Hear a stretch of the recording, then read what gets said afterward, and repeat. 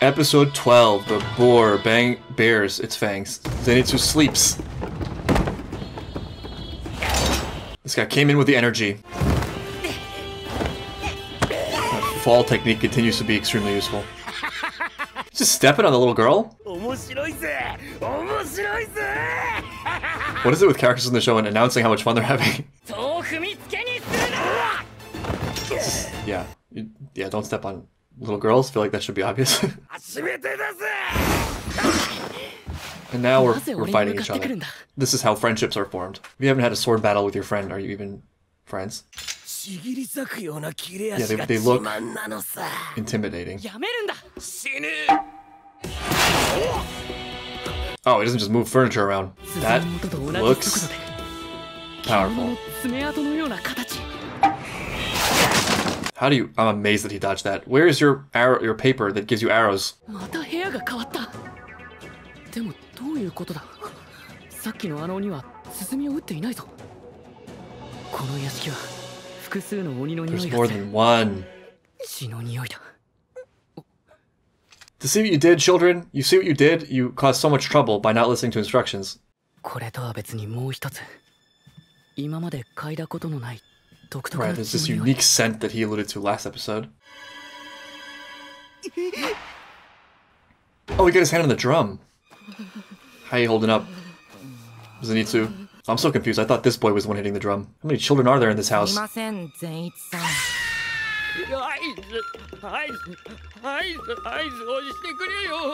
How would you do that without saying something? It's like my girlfriend. If I enter the room, I have to I have to like stomp into the room or sneeze or something so that she knows I'm there and doesn't get overwhelmed with fright at my existence.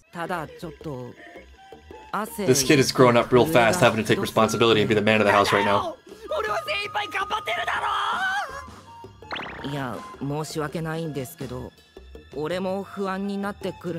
It's contagious.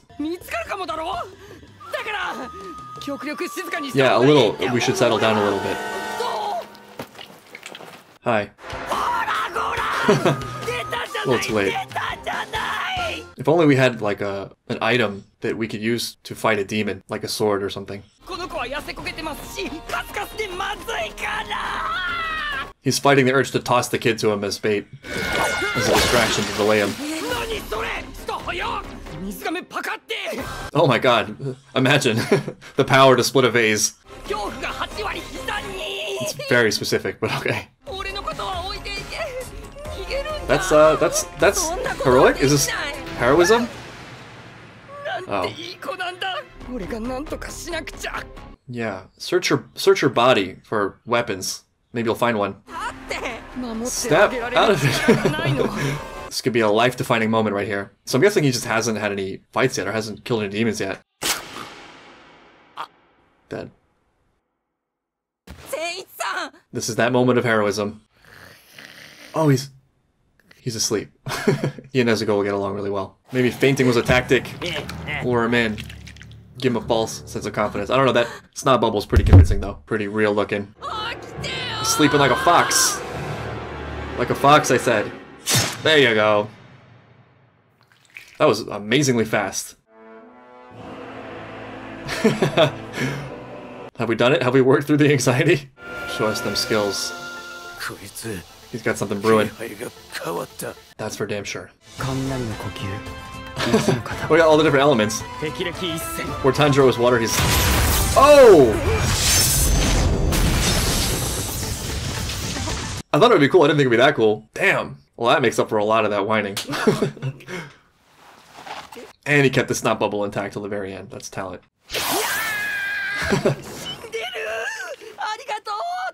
what? What? Huh? Was he unconscious? Was he like sleep fighting? Maybe he's just killed a ton and has no recollection of it. That's an interesting technique. Falling asleep and then sleep fighting. Are we sure this kid's not a demon? His eyes. I'm still suspicious of children all these months later after watching Fullmetal Alchemist Brotherhood. Anime running technique on point. Now this guy eats. I like to put self-taught in there. It's important to let everyone know that he did this on his own.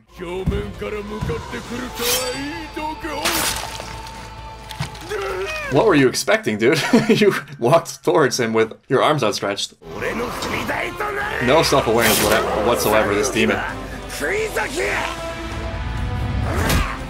The kick is wholly unnecessary, given that he's been de decapitated, but, you know, it was fun. He's having a great time. Yeah, what is this rare blood business?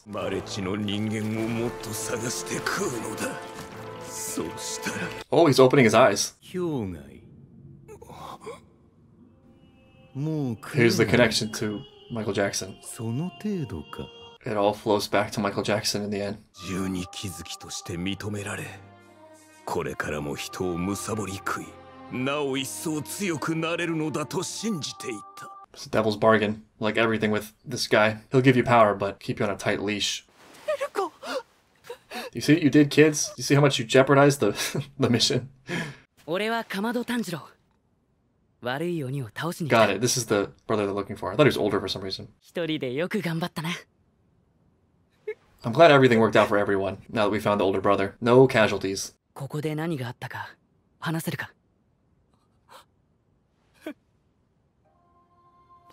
Yeah, pretty open and shut case. No, monster came, monster dragged. Monster almost ate.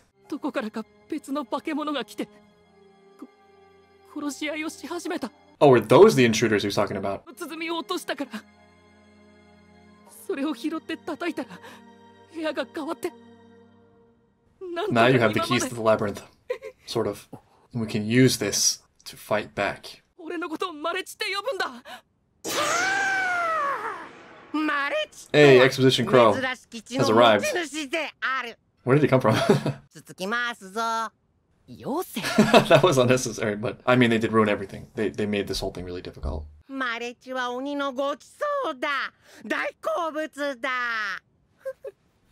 These poor kids. Imagine hearing that. He's not doing so hot. I feel like he'll defeat himself if you just leave him alone for a while. He's in a mood. He's already been taken down by life. And this time, do what I tell you, please, for God's sakes. He's so supportive, like at every moment. And the smile on his face. All Might would be so proud. Deku was the wrong choice. Where was Tanjiro when you needed him? Pretty cool. He was ready this time. You're about to get very wet.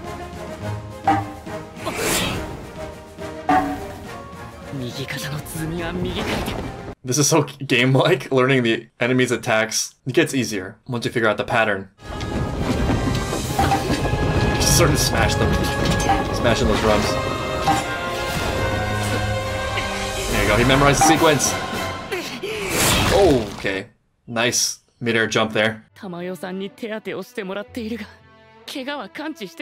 Right, he's still doing this with all those injuries. It's crazy. 痛くて痛く You て can really hold たま this ら sword. ないんだよ This is what your training was for. ギアがした時も声を張った時もすごい Even 痛い that を was 我慢 painful. してた俺は長男だから我慢できたけど次男だったら我慢できなかった I'm glad he's addressing this directly. I'm glad he said that. He hasn't really called that much attention to it because he's just a strong dude, but there's such a tremendous weight on his shoulders, emotionally and physically, and he never complains. I think maybe that's easy to miss in the early episodes just because you sort of expect that from the protagonist, but just putting myself in his shoes, I don't know. I struggle with a lot less.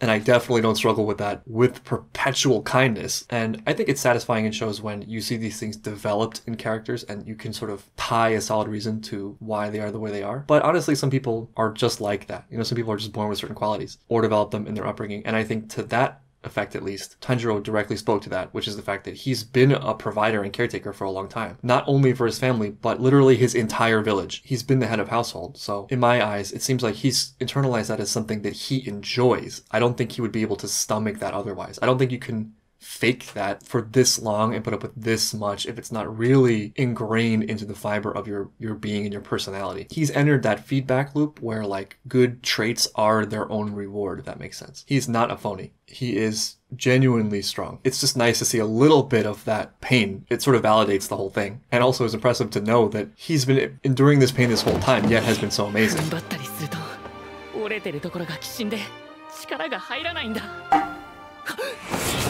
It's some actual fear. 鱗滝さん水はどんな形にもなれるマスに入れば四角 Alright, Bruce Lee. 怪我をしているならそれを補う動きをしろどんな形にもなれる決して流れは止まらない I like that pep talk. Self pep talk. 骨だけでなく心も折れている I like how he thinks about Zenitsu as an example of wavering. When I think about wavering emotionally, I think of my friend Zenitsu. And it makes me want to be better.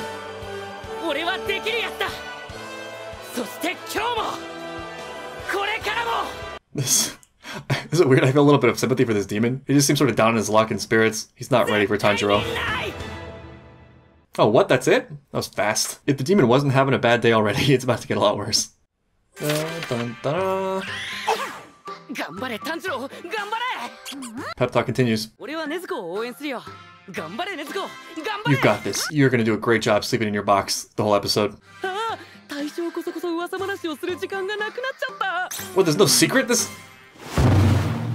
episode? What? So robbed. Imagine having that ability, the ability to be at the end of your rope, but then looking inside yourself and finding something that you value and letting that kick you back up in the other direction. It's a lot harder than it looks, but I think that's one of the many rewards you get to harvest from doing things that are good despite being difficult because you have a record of that, a ledger of strong moments you have of yourself that you can take stock in when there's nothing else really going on. Some of the things that are the most meaningful to me are the struggles that I've been through and the times where I navigated them without really compromising myself and acted in a generally decent manner. It never felt that way at the time. Like, I don't know. I do think that being a good person and doing your best not to sacrifice ideals can be its own reward, but I feel like a lot of times in the moment it definitely doesn't feel that way. You feel like a fool if you are holding true to something but not getting the rewards you want for it, you know? It's like what's the point of being a good person? What's the point of being good if I do what I feel is right and get punished for it? But I also know the feeling of coming out of that and looking back on it in hindsight and the things I was losing or thought I was losing were not real losses. They just felt like it at the time. They lacked